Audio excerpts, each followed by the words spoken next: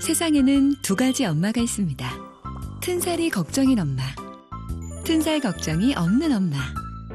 튼살 걱정엔 프라젠트라. 세상에는 두 가지 아이가 있습니다. 가려움으로 보습이 필요한 아이. 촉촉한 보습으로 가려움 걱정 없는 아이.